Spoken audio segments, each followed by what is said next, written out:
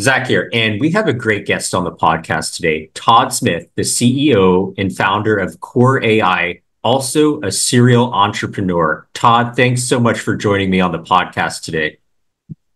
Super excited to be here, Zach. Uh, I, as a, we talked a little before uh, in the green room, it was uh, good to catch up. It's been a while, so it's amazing what you did with uh, Selly. So, well, glad to have you on. And Todd, tell us a little bit about your background, your entrepreneurial background, your previous company, and how you got started in the auto industry. Yeah, I, look, I, I believe my entrepreneurial background probably started in third grade when I go to the local Wawa and buy Jolly Ranchers by the bagful and sell them.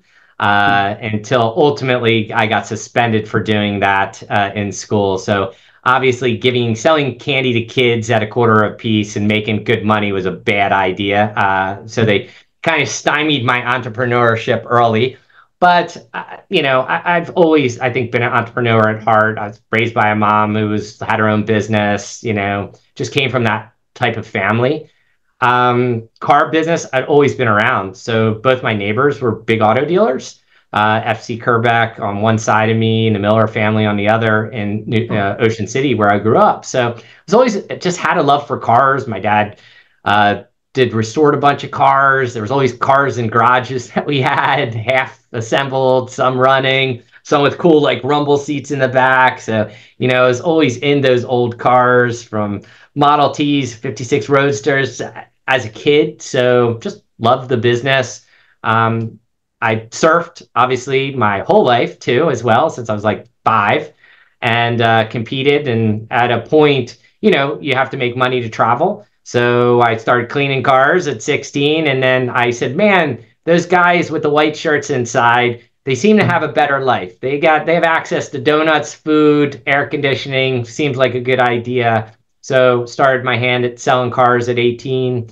Uh, that turned into sitting at basically every seat in the store. So from used car manager, new car manager, GM, and ultimately ran a multi-store group ultimately then uh, became a partner and owned a Chevy store in North Jersey. Um, but, you know, running a car dealership, super entrepreneurial, but my heart was still somehow stuck in tech. I, I think, mm-hmm. I don't know why, I have an older half brother.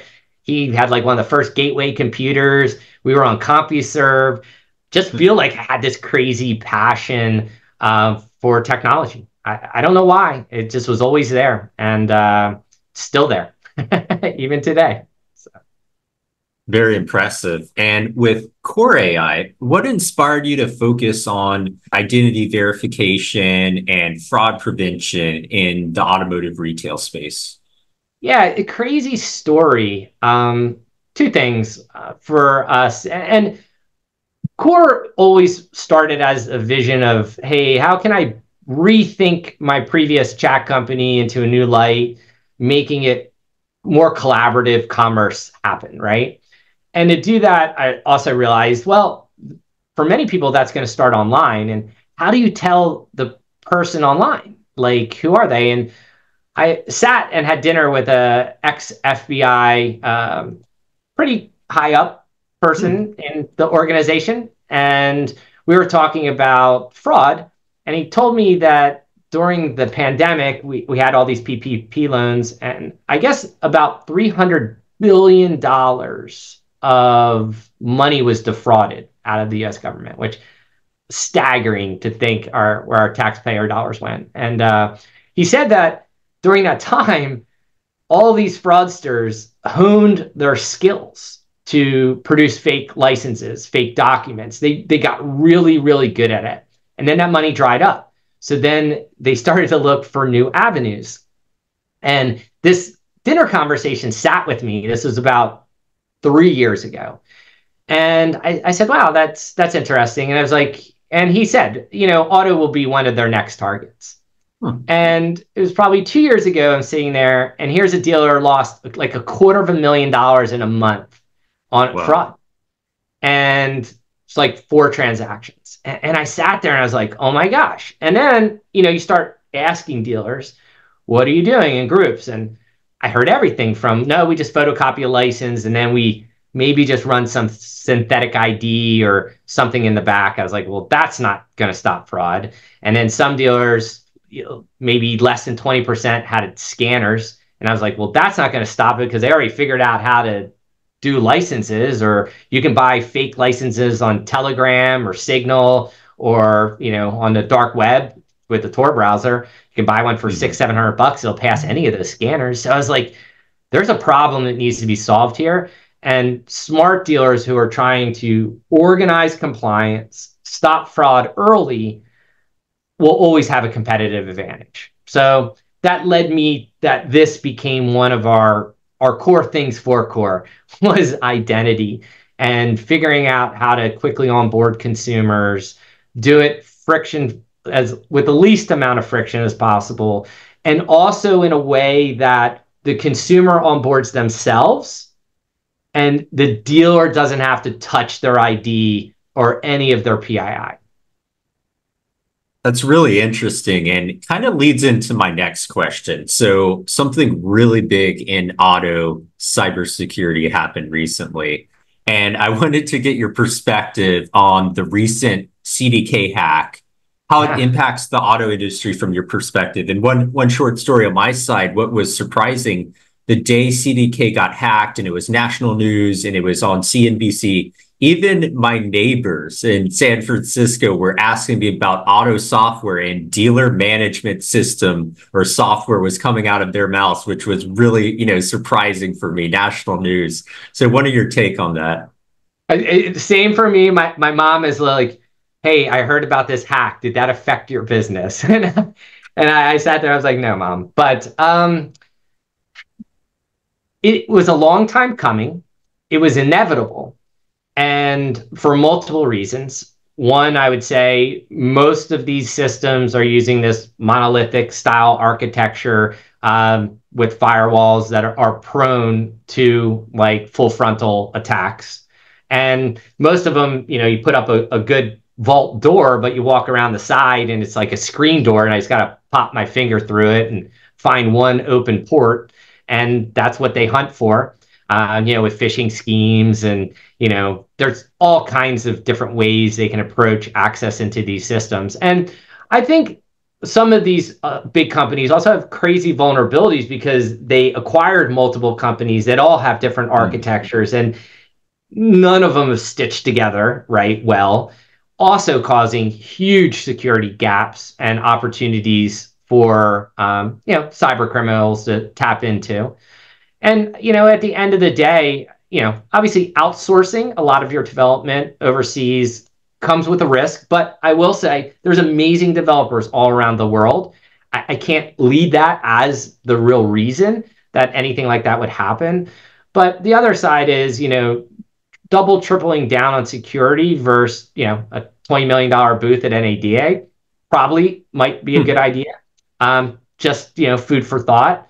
Um, you know, and it's hard that some of these companies are out selling security services, and you know they're not really in the security business. I feel like it's another way to try to capitalize on dealers being naive and not really understanding that security is a whole different world. It's like you know, it's oh, like going to Mars. It's it's not a moon landing. And just buying and building software is one thing, but building a system that operates at the highest level of security today takes a tremendous amount of effort and different thinking. And I feel these systems today, almost all of them in auto, just don't have that. They weren't built with that first, or it was a cottage into a cottage product that grew up and was bought by one of these guys and bolted on. And then you have all types of just tech incompatibility. So, you know, it, it was interesting. I think it was inevitable. I think you'll see more. I, I don't think this is the last. And definitely.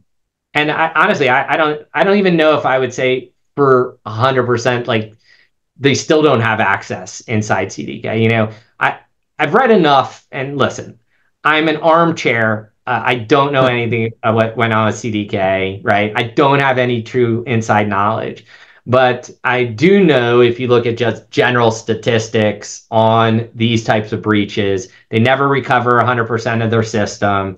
There's always new increased vulnerabilities. Um, you know, and it's kind of a double dip, right? They're gonna CDK paid them, which kind of is like paying a terrorist organization if you think about it, right? Because you know these a lot of times these companies have state ties uh, because they work for states, like you know. Um, so that's interesting in and of itself. And you know, did they leave a back door? We'll never know. Could they continue to scrape data out of the system? We'll never know. Um, so it, it's just dangerous, you know, and that's why I think different architectural styles, like more like Intuit, it's built like uh, you know mm-hmm. serverless, mm-hmm. using zero trust uh, protocols, using you know uh, what I would call like perimeterless security functionality, same which is what you would see like in AWS, which I would consider probably the most secure thing or one of the most secure. Nothing is bulletproof, but um, you know, you kind of want to lean into the guys who, you know, I I think have built and are willing to commit the financial resources to security at a level that, you know, doesn't exist in auto.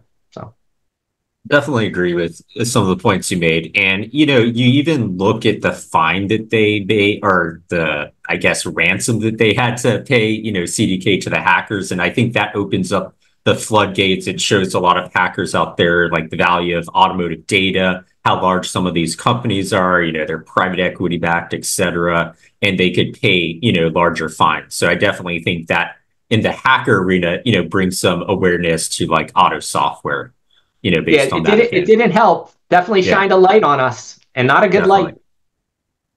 And, you know, that kind of leads me into my next question, going back to kind of your product and thinking about fraud in the industry. How prevalent is transactional fraud in auto dealerships? And what are some of the common types of fraud that like dealers face? Yeah, so, so that's a really good question. So if we look at the data, probably this year, somewhere around 7.9 billion in fraud will enter wow. uh, auto through lending. Uh, this can come from a multitude of ways. Uh, identity theft, right? Easy. Uh, this is where you know people present fake documents to buy a car. Uh, that also falls into like synthetic ID fraud, right? Where people have stood up a, a clone identity of you, Zach, and they've nurtured it for a couple years, and then they kind of break out and they go crazy, buy a bunch of stuff, and then it all hits your credit report, and you're like, "What happened? Didn't see that coming." Um, so that that's one side. Two is income misrepresentation. That's a big one. So that happens when, you know, it, listen, it could be first party fraud, meaning a salesperson says, oh, they're on the verge of being qualified. Hey, Zach, don't you drive Uber like once a week and make an extra $300 a month? Right? Like, right. Pencil it in. No, let me, let me do your credit app. Right. Like this happens um, because salespeople want to sell cars, and I, I can't blame them. They have families to feed, kids to feed. Uh, so I think for us, you know, there, there's all these types of fraud. Uh, almost 60% it starts internal, like fraud. So people taking uh, data off a system, like downloading, let's say, put a, a, a zip drive in and let me go grab uh, all your sold customers right? And now I'm going to take that data that all has PII attached to it because there was no protocol to not allow that download to happen inside a system, which is crazy. So there, I think there's a multitude of risk there for the average dealer. And that risk kind of cascades, right? It, it, it's like a ripple. So that happens, and let's say Zach, someone took your ID and you're mad now. So you go back and say it started here at this dealership. This dealership didn't run ID. I'm suing the dealer now for not protecting me and my consumer rights.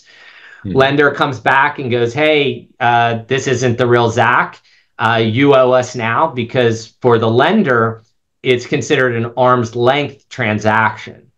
So the dealer is the direct transactor with the consumer, and because of that, the dealer's like liable, not the lender. So the lender's going to say their recourse is going to like, give me my money back. And the dealer's going to go, oh my God, whatever. I'm going to call my cyber policy. And the dealer's going to read his cyber policy and it's not going to cover it um, in most cases. So that's a problem. There's lawsuits. I just posted one today. Cyber will most likely not cover a transaction that happened for a remote party you're selling a car at the dealership and sometimes not even people that walked into your store. So again, problems there. And then, you know, you get on the list. The lender said you let one slip by the goal and you're putting our business at risk. So now we're going to watch your loans a little closer. And there is a secret list, I think, between all the lenders. They all talk. I've talked to hmm. many people high up in some of these organizations that, you know, they keep a Santa bad list for sure of known offenders. So they watch those loans. So to me, like, as I said, it's like a rippling effect. So I think dealers, the smart ones will stop it up front, and the groups need to normalize processes, reduce bias of onboarding customers, as also kind of protecting it outside of the hands of an individual salesperson or F&I manager making those decisions. Because that's the other side. When you put, it's like the wolf determining which chicken in the hen house is good. You're like, right. you can't have that because someone's pay plan is tied to selling cars. And now you're putting a process that you want them to stop selling cars. You're going against what you're telling them every day to do hmm. by looking at a deal and saying, well, this guy's fraudulent. That's why people turn a blind eye, deals get done, deals get through, and then dealers pay that ramification later. Wow. And could you explain how secure deal document management works and why it's essential for protecting PII? Yeah, so this is definitely a growing thing. Uh, I was just in a deal, I was just talking to a friend of mine, Tom Klein, uh, who has a compliance company, and he's literally showing me pictures. He goes, I went in this dealership. There was a, in the, I'm going to, it was an open aired uh, sales desk, typical Behind the sales desk was a cabinet with a key in it, the door open, and in a what do you call like a bin was probably 60 credit reports. oh my God. So, this type of data held in paper form is an enormous risk. So, anything the dealership can do to digitalize. So, stop printing out driver's license, photocopying them, you're exposing PII into the real world instead of holding it securely. And I will tell you, I've seen a, I've seen a lot of uh, manila envelopes. I've never seen one secure. You just pop the lid and you can get into it, right? Like you go into dealership and they have all these printed jackets. And the reality is that's an opportunity for someone to mishandle that data um, and take advantage of it. You know, if we go into any dealership today, we find PII on salespeople's phones, copies of driver's license, insurance cards, proof of income, W 2s. We find it on salespeople's desks. We find it in desk oh, drawers.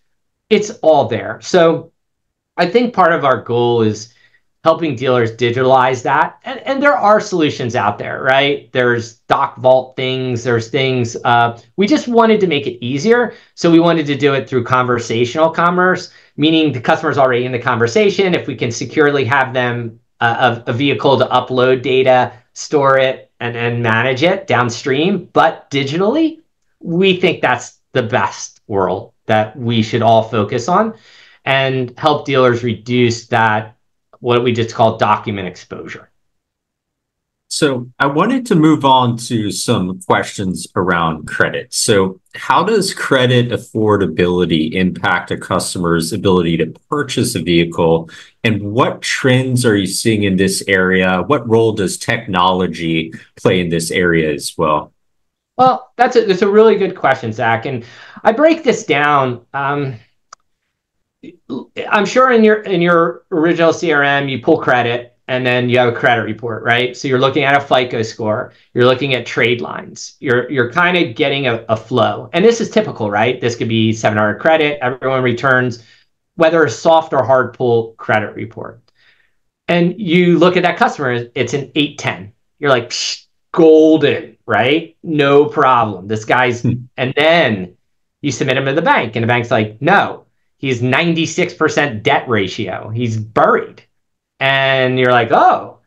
And affordability is literally rising to the top of probably one of the most important things we should be looking at today because we've had a rise in rates, right? That's affecting mm-hmm. deal flow. Uh, definitely constriction to the lenders. So they're definitely eyeballing deals more. Um, we have many consumers now who are what I call the uh, post COVID now looking to trade out of cars that they're buried in. So you have a lot of negative equity that needs to go forward.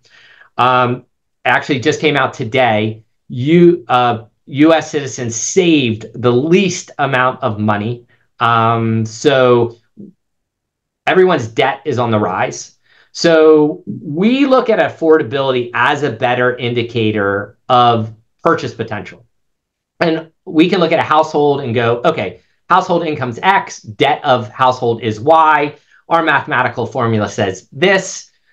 Then from that, you can then, okay, let's punch them to what inventory should fit them better, right?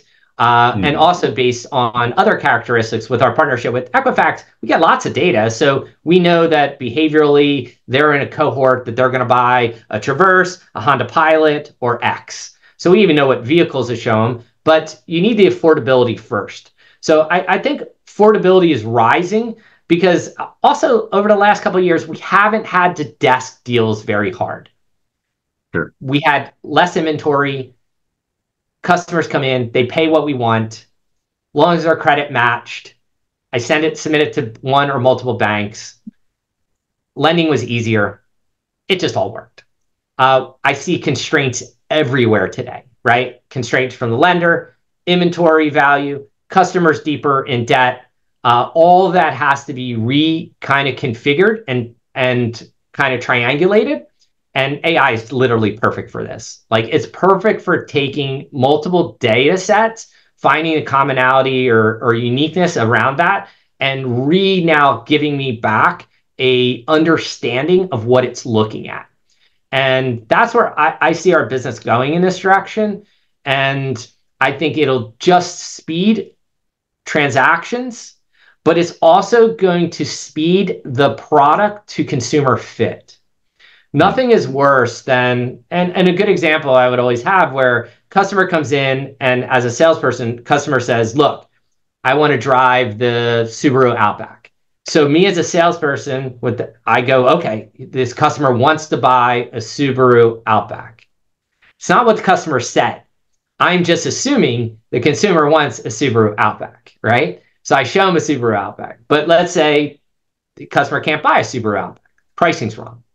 Right. Most salespeople will just stop. But we have other things, and uh, that's a that's a very loose thing.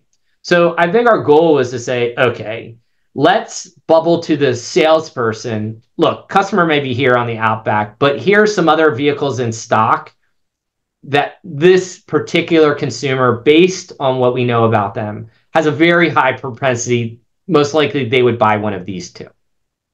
We don't want to just say we've predicted it all because that sounds super creepy, Zach. and on the desk, we want to show them, hey, this customer, this is their true credit profile based on affordability. So and match those things. So desk sees one thing, customer or salesperson sees another, and this allows the salesperson to have a better conversation with the consumer. That's a little bit more thorough versus going back to the desk and they go, yeah, we, we, can't do that deal. And the customer's like, well, I'll go home and think about it, drives to another lot, goes and buys that pilot, which you had a late model used one, didn't even offer to the consumer. They go hmm. buy it from somewhere else. So I see using this type of data in a new lens um, to help the dealer, again, better get that like I call it it's almost like a fit and finish, right? Like Toyota is really great at that fit and finish for product.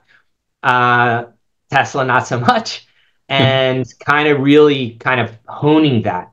I, I, see there's a huge world of opportunity there, and I think for us, we just want to be there. We want to be at the tip of that spear.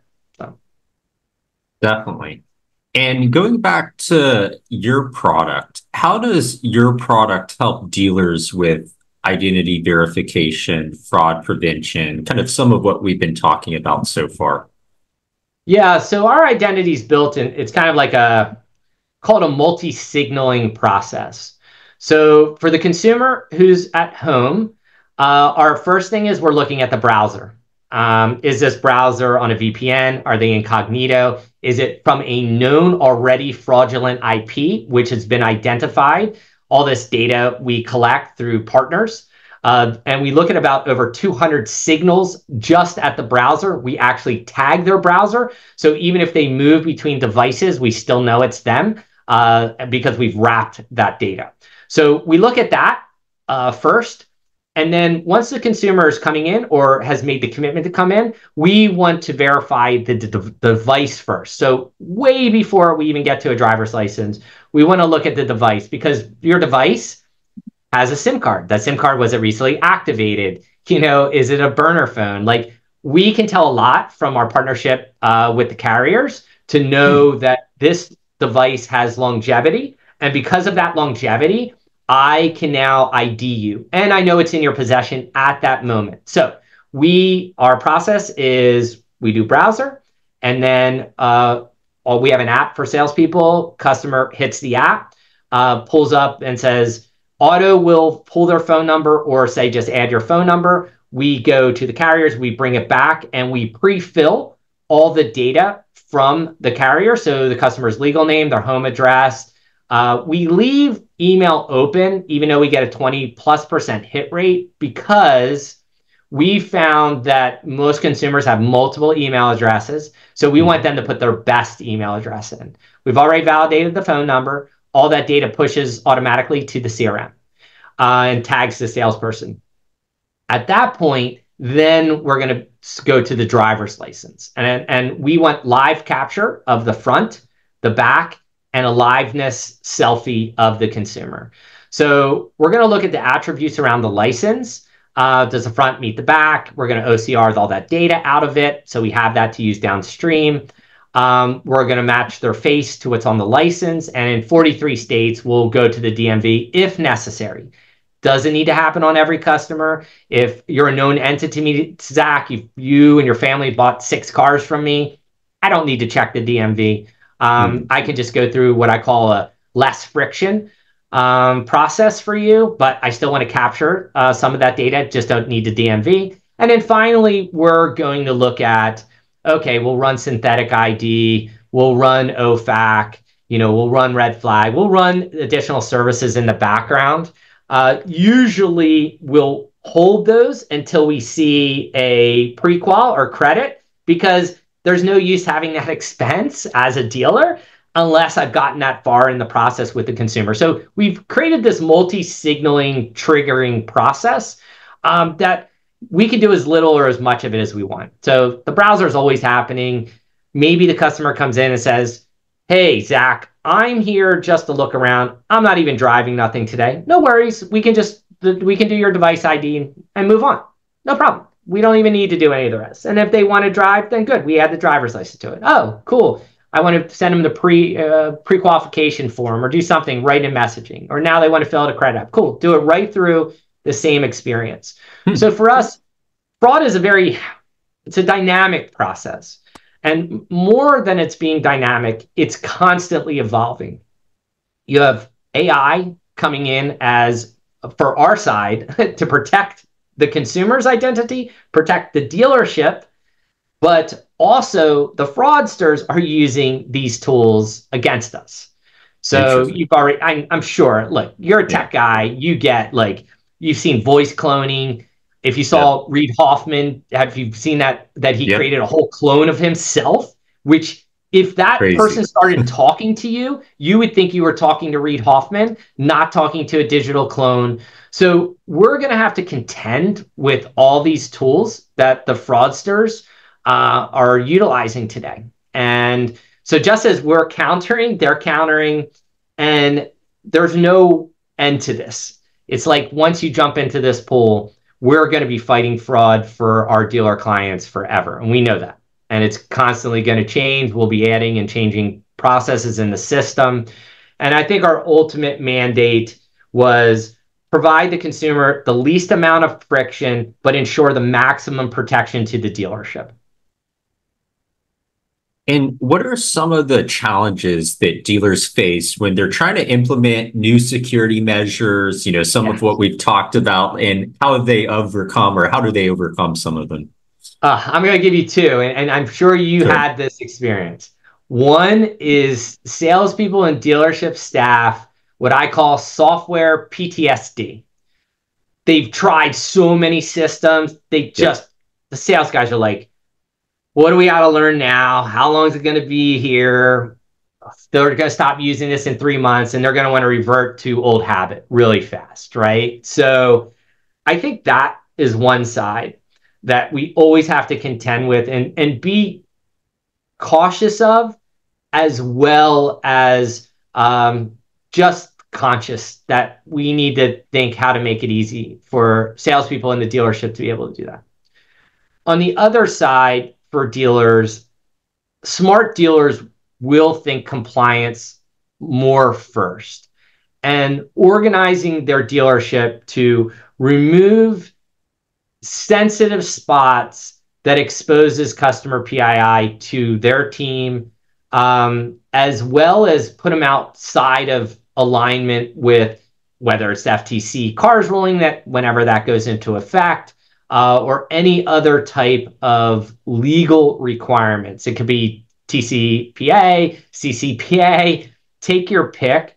Um, dealerships, a lot of time, their processes operate on the edge of these things and it's dangerous. And I think with the fine of over 50K per instance on this new FTC one, if it happens, dealers are going to have to really double down on a compliance first process that can be automated as much as possible that human bias doesn't play a factor in.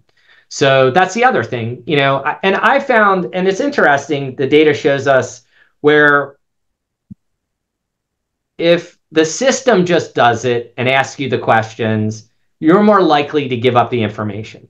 If me as a salesperson start to ask you, what's your home address, Zach? You're like, why do you need that? So if we can let automation take place of that um, and take bias out, that's a huge thing. The other thing is, and I and I'll tell you, this is crazy story. So I was just in Minnesota at a store. Customer comes in, uh, does the device ID and looks down and goes, How do you have this address? And I just happen to be standing there. I'm like, Sir, well, what do you mean? That's your home address? He goes, Yes, that is my home address. I just moved to Minnesota two weeks ago. You have my new address.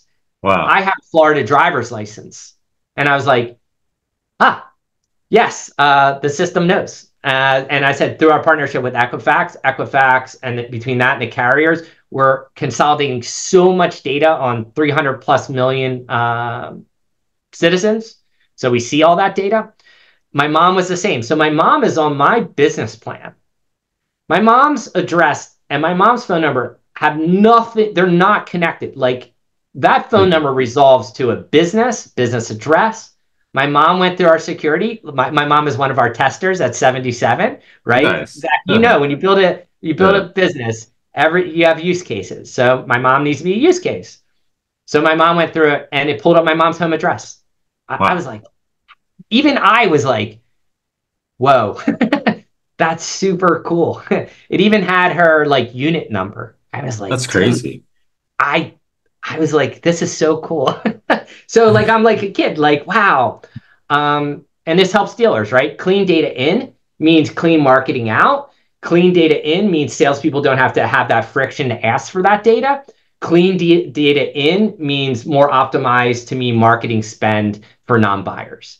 And clean data in and or, uh, normalize allows you to pre-populate forms allowing less friction for the consumer having to refill their name and address out four or five times, or a salesperson doing it, which accounts for potential error on data entry.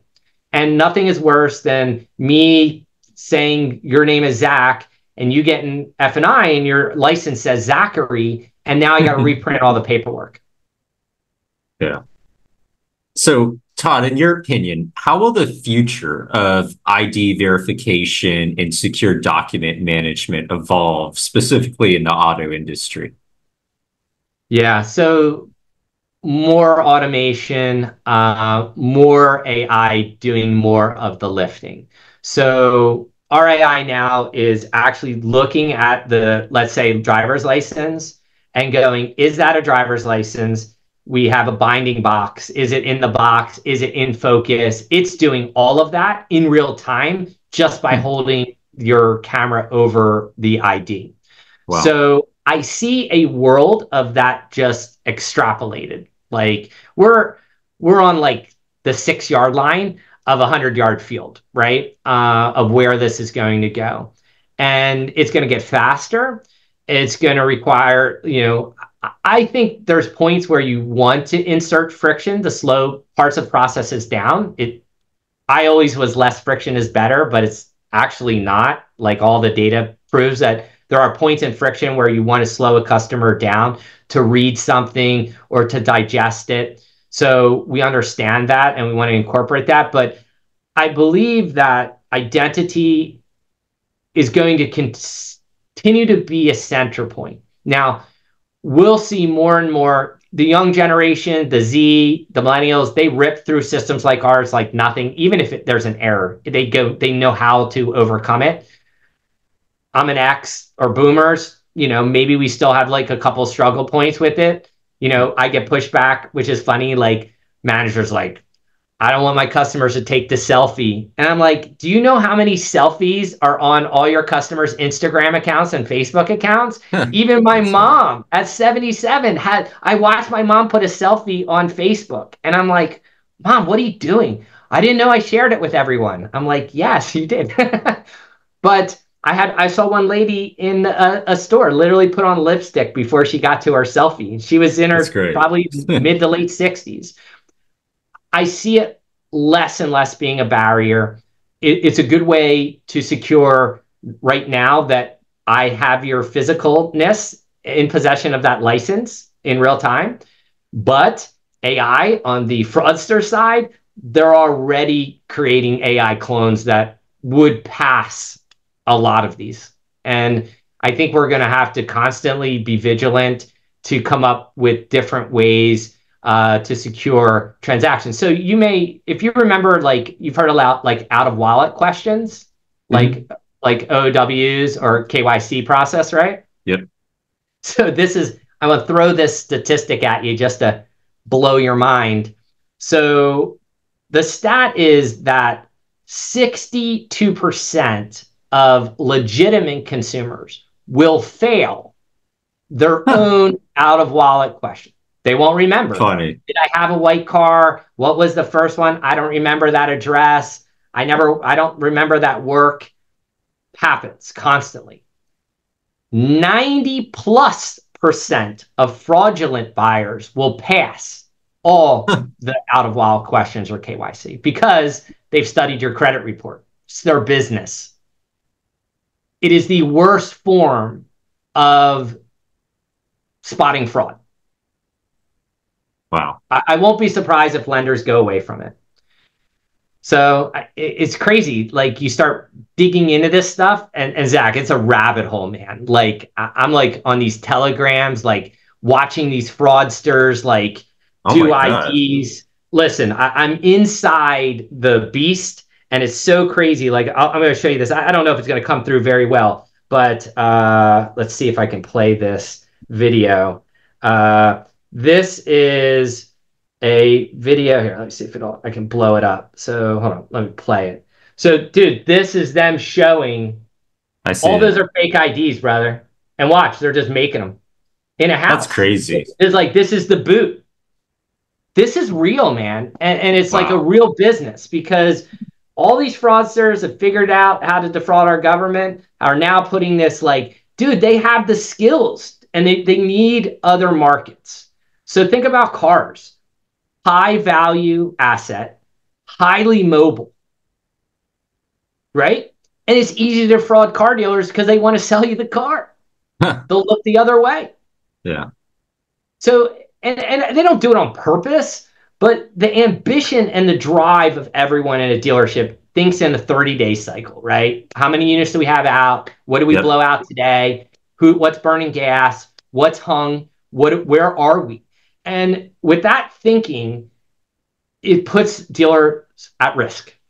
And Definitely. and it may be more prevalent in California, Texas, Michigan, which is the fifth, New York and Florida They're the big fraudulent states. I know Michigan threw me, but yeah, that's the random one. I know, Everyone else, like, I understand. dude, it was it was like a red yeah. herring. I was like, what? But super high. But as the big cities, like they're they'll tech up first, right? Yeah. For move inland. Like, why do you care? And with more of the transaction being done remote, like I had one so crazy. So customer remote transaction. It was before our system, so dealer got burned on this one. Customer um, said, "Hey, I own a pizza place. Blah blah blah. I'll meet you at like 2 a.m. when I'm done my shift." Car guy wants to sell a car. He shows up at the house in the middle of the night, out front, does the paperwork, leaves. Oh my god it was a fraudster using the person who actually lived in that house's address as the like jump spot. Crazy. Dude, done. Fraudulent deal. Now I'm going to scare you even more with uh, AI voice cloning. You've seen this, right? Oh, like yeah. Yeah. Voice. The frauds okay. on it. Yeah. I have my voice cloned because I, I, I like to read uh, my own blog posts. Like, so I want it in my voice which I don't. I I have a voice made that's terrible, but I, I, just want people to hear my voice. So, um, so a voice clone. Uh, I actually cloned uh, the head of the Montana Dealers Association's voice uh, the other day and sent him a message, and he's like, "How do you have my voice?" I took 15 seconds of his voice, and uh, I cloned it. Here, let me uh, back it up here. These Montana dealer are Yellowstone, the TV show. They are all no cattle, if you know what I mean. Just last week, I had a dealer ring me up whining about our event. Uh, was he asking about sales strategies or cutting edge tech? No, this buckaroo wanted to know what kind of beef we're serving. Totally not him. I totally made that up. Sent it to him. He's like, dude, how do you do that? I was like, I have 15 seconds of your voice. Now, I'm going to give you a real world. I call your dealer. I talk to him for 20, 30, however long. I grab his voice print. I now take that voice print. I sit in a store. I know some people's names. I take a salesperson. I call that salesperson. I use that owner's voice. I say, hey, Zach, I need you to go get that uh, F 150 Raptor. I need you to take it down to my dentist, put it out front, put the keys under the mat. He's really busy today. He's going to drive it later, put a tag on it come back to the store. He's going to come back around six tonight. Oh my God. Yeah. Why not? How would you ever know that that's real? And it, it, listen, if my owner called me, I'd do whatever he told me to do. Why would I question that? That is the fear of what we're entering right now. Wow. I said, like, I don't know if you do you have kids? No, not yet. Okay. so I feel like you almost have to have a safe word I say blue, you say you say bucket.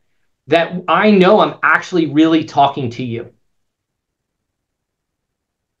Yeah, I've talked about that with my parents too, because I have so much content online. It's on CNBC, Wall Street Journal, et cetera. It's so easy to get a clip of me. So I, have thought through that as well and like a safe word. So very, very clever. And, you know, I was also going to, my next question and what we've talked about is so fascinating. But the, the other component of this industry is regulatory changes.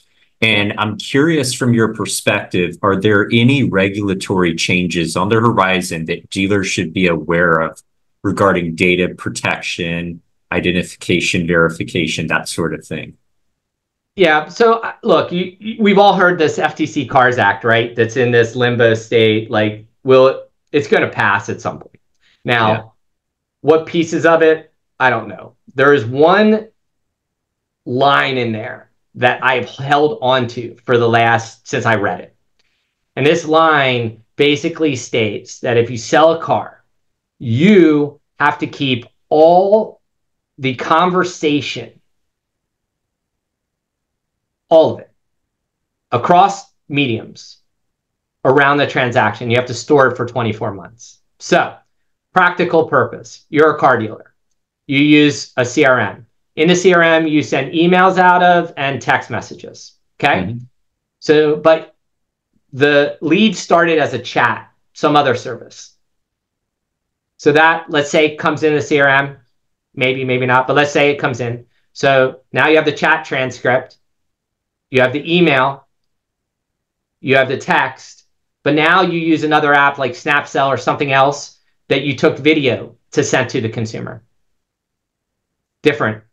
Now you use Podium because you want to get a review and you're you have a conversation with that consumer. Now you have a phone call on your phone system. Now salesperson is using their personal device to communicate. You see this. We, we live in this multi-channel environment mm-hmm. that is absolutely going to be destructive for the dealer this was the one of the driving factors to build Qore was i'm going to build this messaging center asynchronous solution where everything can happen inside that. And yeah we have text and email but there are wrappers around this comms layer because of this point where lots of conversations are cutting across mediums and everything I've ever seen in auto is all multi-channel. We we had to build that first true omni-channel that all comms in one spot that I could attach to that customer sales transaction, store it for the dealer for years. And I think that's going to be a nightmare for the average dealer to figure that piece out uh, without something like we're building, right? Um, I, I see obviously more dealers or, or more states adopting like CCPA, which to me is a watered down version of GDPR. Definitely. The the the and if more of GDPR starts to enter the US space, it's going to get really hard uh, for how we move and store and manage data because the systems, the archaic systems inside auto retail today, are not built to manage that. They're not built to like pull someone out of a system and out of multiple systems simultaneously because there is no organized data structure. So that to me is going to be a nightmare regulatory uh, around. And I think as I've watched these states all operate using CCPA as that nucleus, there's all types of nuances and trick bags for dealers. Plus, we have TCPA just in general. Texting to me is not only not secure, it is not manageable because most dealers are using six products that all have a text sure. component. So there's no way to normalize the DR tool has a text component, the CRM has a text component, the other tool I use to send videos has a component, my reviews has a component. So how do I opt them out? You can't. And, and again, that's going to break that breaks CCPA because you need to be able to pull them out. So these are those challenges, and I think it's a technology challenge. Um, mm-hmm. And then, but first, it's understanding the dealer's processes, and a dealer needs to really graphically understand his processes, and then go back and say, okay, what tech do I need to execute my processes? Because right now, they just keep adding stuff, and it creates so much noise and it's going to be it's a compliance nightmare. It's it's it's it's an unmanageable nightmare currently, and it's only getting worse with more tech. Very true. And you know, Todd, you've been so gracious with your time. I could talk with you all day. I've, I've learned a lot just doing this podcast, but I wanted to give you kind of the the last question. And sure. I wanted to get your advice to give to dealers who are just starting to focus on improving identity verification, fraud prevention, and how could they stay ahead of the curve? How could they ensure that they're putting in the right practices as they're just getting started at your dealership? Like, what's your advice to them? Yes. So, first thing is they have to look at identity as a process of of of the sales process, right? And photocopying a license is not identity. Scanning a license is like baby step of identity.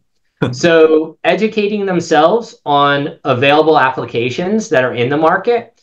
Um, I mean, beyond Qore, there's uh, Jumio. There, there's a sea of tools around identity. Now, you do want something easily integrated with the tools you already use, right? I mean, that's kind of why we exist. But I think it's education. Um, there's lots of free ebooks about it. uh, out there. I've seen, you know, more than happy to share any resources uh, because I, I feel education and reading about it and understanding that fraud is multidimensional. Uh, it's going to attack you all over the place. Around identity is one piece, even to the point of spotting liars. So customer presents like a license to you, right? There's all kinds of crazy things like uh, if customers stand up really straight. Uh, I, I, will tell you, there is like so. I spent time with FBI guys. So there's these. Yeah. There's like probably ten behavioral things that fraudulent. I'm going to put liars are going to do. Um, I, I, I don't remember them all, but more than happy to again share. Uh, but they were like they'll point at you, uh, they'll crink up a little bit, they'll start touching their neck, vulnerable spots on their body. Um, they will do like certain actions. It's crazy that huh. all these things happen of subliminally. So training your salespeople to start to spot weird behavior, having the spidey sense that we naturally have is important. And we know when something's off with someone. They either talk in circles, um, they'll they'll just try to repeat themselves. This is like a glitch in the matrix that it liars got up. No, no, no, no, no, no, this is right. No, this is correct. No, this is my real stuff. These are tall tale signs something is amiss in the process. So. I, I believe we're a great lie detectors if you have just basic understanding of it as a first line of defense, then I think your process dictates the technology. And look, dealers have to decide how much risk is acceptable. And, you know, is it worth three, four bucks a customer to not have risk? Or you say, no, it's I only want to spend a dollar, you're going to take on more risk, right? Like, I think dealers have to balance that in their business. And I, I think smart dealers will always look to de-risk their business, especially around something so critical and affects so much.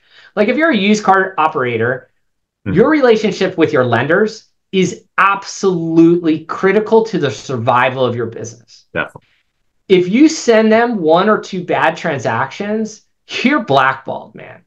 And you're you're going to get dried up and good luck finding a new resource because they all talk. It, it's not like oh, I, I sent a bad one to Allied, so I'm just going to move to BOA, uh, Fifth Third. They all, they all are like, there's a little list, man. It's like a Santa bad list. They won't talk about it, but it exists because look, they're protecting themselves. And for the the lender, the lender has to trust the dealership completely. That the dealer is going to protect them. And it starts with identity. It starts with verifying information. It starts with gathering steps that are valid, right? It starts with these things. And I think smart dealers realize that if they do a good job there, they, they, it gives them great trust on the other side. It gives them a lender that buys deeper. It gives them a lender that streamlines transactions, minimizes steps because, you know, there's a trust that's built between the dealer and the lender. But if you want to erode the trust, send them one bad deal, send them two. so I, I think dealers should begin to really start to pay more attention to this. It hasn't probably been as top of mind, right? Um, because when things are good, everyone's happy. Uh, but as dealers start scraping, looking for more deals, I mean, listen, fraudsters are going to come out, and they're already out. I mean, I, I, am watching them all over. I, I see deals every day fraudulent people. Fraudulent person comes in, it's like, I'm not, I'm not, I'm, I'm, you can't verify my phone. What, what are you talking about? I'm not coming here. I'm leaving. And the sales guy's like, no, don't leave. And I'm like, let him leave.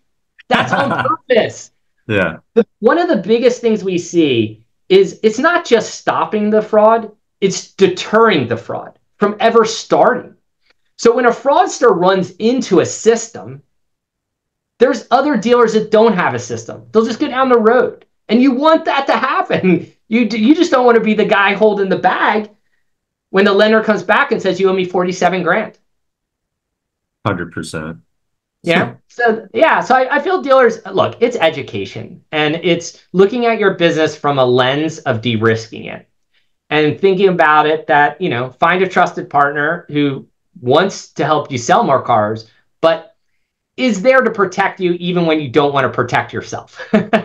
kind of like how I look at it. Like, you know, you got to have like the dad saying, listen, you can jump off this cliff, but it's going to hurt. That's 60 feet down, right? Like, hmm. I'd wear your shoes if you're going to pop in there. Like, you, you, he's still going to let you do your stuff, but he's going to caution you on, on your journey. So. Very well put. I can only say this, Zach, because I have a 14 year old who's crazy, like I've always been. So I'm like, oh my god, what's this kid is going to be the death of me. well, something uh, I guess for me to look forward to. But I'll tell you this, Todd, it's been an awesome episode. It's been a pleasure to talk with you. Thanks so much for joining us. Thank you. I really appreciate being here. It's been awesome. Uh, it's great to reconnect, and I, I've had nothing but a blast today. Thank you so much.